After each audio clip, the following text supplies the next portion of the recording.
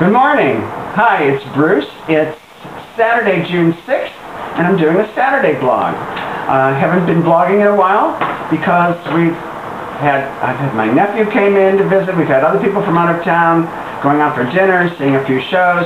Uh, and stay tuned to the end of this blog where I have uh, quite a large announcement, I think, to make. So let me get and catch up with just a few things I've done before I do the one, uh, one longer review. Uh, a couple weeks ago on a Monday we saw the final performance of Things to Ruin, the songs of Joe Iconis. If you watch this blog, you've seen me review Things to Ruin last year when it was at the Zipper. I love Things to Ruin. I love Joe Iconis. Um, and what's wonderful is that Joe's actually become quite a good acquaintance of mine. I've gotten to meet him, and uh, he's been very, very nice to Bill and I. Uh, he's a big fan of Sideshow, which Bill wrote with Henry Krieger. And uh, I would say uh, Joe and I hit her up quite well, and I'm glad to have him as a friend. It was a great production again. This time it was at second stage. It was there only for like five performances. If it pops up again sometime, please go see Things to Ruin, the songs of Joe Iconis, because uh, we took, uh, there were 11 of us in our party. We're big Joe Iconis, uh, bring people in to see Joe Iconis and get to know him. And they all loved it. Let me just briefly mention the cast, because they'd like to be mentioned.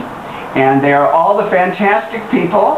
Nick Blaemire, Katrina Rose Dideriksen, Bob Jafara, Sarah Glendenning, Eric William Morris, Lance Rubin, and Jason Sweettooth Williams. and uh, Jason's become kind of an acquaintance of mine too. Jason's sort of uh, Joe's alter ego. Sometimes I think they're joined at the hip. I see them together a lot. Sort of like Daisy and Violet in Sideshow, huh? Okay, the next thing I saw, which I saw in an early preview, and I told the director I wouldn't talk about it, but now it's open, it got good reviews, and it's next fall, which uh, is playing at the Peter J. Sharp Theater on 42nd Street. it's a production of Na Naked Angels, and uh, theater company. And Geoffrey Nauffts wrote it. Geoffrey Nauffts is a wonderful actor. I think he's currently in Brothers and Sisters on television. And uh, this is uh, uh one of his uh, early attempts at playwriting. He's written some other things, but this is the first play of Geoffrey Nauffts that I've seen. The cast includes Patrick Breen, Maddie Corman, Sean Dugan, Patrick Heusinger, Connie Ray, and Cotter Smith.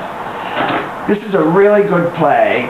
Uh, the subject matter, let me just preface this by saying Bill and I met 30 years ago, and we had a lot in common. We've been together and we've had a lot in common, and that makes the relationship somewhat easier. Relationships have their ups and downs. Uh, this is about a relationship, uh, two gay men who have completely opposite backgrounds and opposite philosophies. Uh, and yet they fall in love. I think it's an intriguing premise. I think it's wonderfully done. And if you have a chance to see uh, next fall and uh, see Geoffrey Nauffts' great writing and a great cast, uh, drop in on that. Uh, Sheryl Kaller uh, brilliantly directed it, and she was working on it very hard. It was an early preview, and uh, and and I liked it then. So I guess the reviews paid off, and and they're fine tuning whatever they did and made it even better. So give uh, next fall a, a chance. Okay, um, I'll be back in a minute.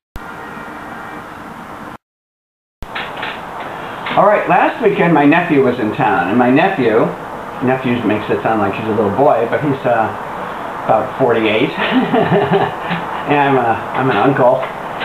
Uh, we went to see Ruined because he loves to see uh, plays and dramas, and Ruined is the Pulitzer Prize winner. I believe it won the uh, Outer Critics Award for Best Off-Broadway Play, and it won the Drama Desk.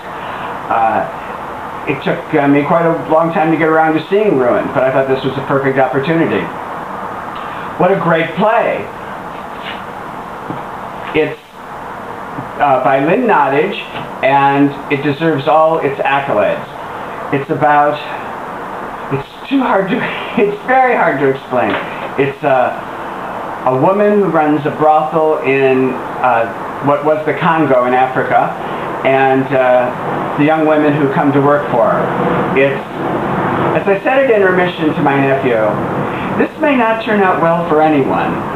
Uh, it's very dramatic. I, I won't even get into describing it except saying it's a brilliant piece of writing. It actually contains music and singing in it, uh, which is wonderfully done. And worth a visit if you, it's an intense drama. My one qualification is it, it has sort of an ending, it has, I don't want to call it a happy ending, but it has a nice and hopeful ending. Um, it almost seemed tacked on because you almost couldn't believe anything could go right uh, with the drama of the, uh, the Congo. The government and the rebels and the people trying to uh, get by in between them and, and just live, just try to live as opposed to being hacked to death and murdered. So it's an intense subject matter, wonderfully acted, uh, and uh, go see it. That's all I can say. It's it's probably the best play of the year, although I still uh, I still love Reasons to be Pretty so much. But boy, two different things. Reasons to be Pretty, God of Carnage also, some great plays this year. All right, uh, and here comes my announcement in a minute. Well, at this moment, Bill is out uh, directing um, some actors in a reading of his play Elegies for Angels, Punks, and Raging Queens. He's doing a reading of it on uh, Tuesday. And uh, some people were interested in seeing that on stage. So he's, he's doing a reading with a great cast. I'll talk about that maybe next week. So I'm getting dressed and I'm going to go meet him for after his rehearsal because we're going out to look for and hopefully buy, if we find some, wedding rings. Ta-da! Bruce and Bill are getting married. Yes, he's making me an honest person. Uh, the wedding date is July 11th. Yes, July 11th. I had to think about that. Uh, there's a lot to be thought about. We're marrying in Connecticut in the, uh, at the home of our great friends in Connecticut. And we got our marriage license a couple weeks ago. And we're planning a small party. We're being married by a justice of the peace. And uh, we get the rings today. So I'm very excited about that. Uh, July 11th is the same week of our 30th anniversary, so we thought it was a good time to sort of make each other honest men. I'll, uh, I'm going to try to videotape some of this and uh, put myself on display. Might have a YouTube wedding. Anyway, I hope I'm just not too old to carry off white. And uh, uh, you'll hear more about this in the weeks to come. All right, have a great weekend. I'm going to go out and try to find something that fits this finger. Hi, I'm back. It's Saturday afternoon. I have a little coda, an addendum as it were to add. Uh, we got our wedding rings. They're being made. We found them in the uh, Diamond District on 47th Street near 5th Avenue. They're going to make them, have them ready next week. Uh, simple gold bands.